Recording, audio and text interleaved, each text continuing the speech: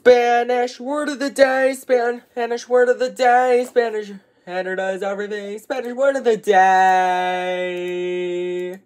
The Spanish word of the day is queso. Queso is Spanish for cheese. Queso. It's the word of the day.